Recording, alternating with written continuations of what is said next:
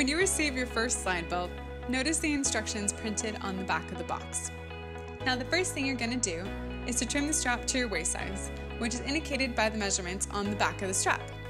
We recommend cutting 2 inches longer than your waist at first, just to be safe, because different brands of pants vary in sizing. Then you can try it on, and if needed, repeat the process to trim it shorter. After trimming to size, flip the buckle over and open the door. Insert the strap all the way in, keep it straight, and then close the door firmly so the spikes dig into the strap. Now your buckle is securely attached and you're ready to try on your belt. Simply feed the strap into the buckle and push it through. Be sure to put the strap behind the guide bar first.